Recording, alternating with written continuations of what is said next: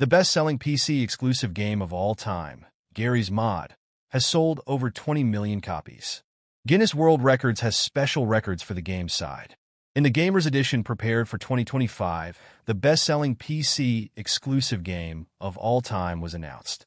Accordingly, Garry's Mod, which offers creativity and has a sandbox structure with many modes, has achieved a record by selling over 20 million copies. The world's best-selling PC exclusive game.